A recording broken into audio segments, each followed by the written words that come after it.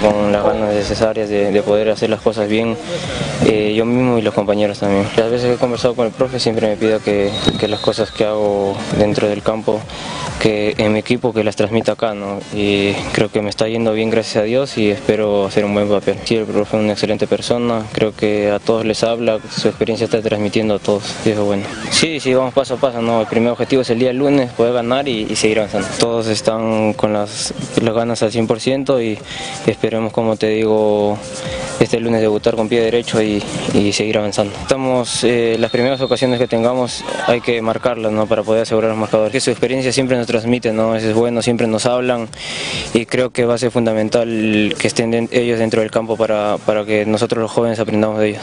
El apoyo del hincha va a ser incondicional, esperemos que toda la gente siempre vaya a alentarnos. Creo que este es un grupo joven y bueno, esperemos seguir avanzando.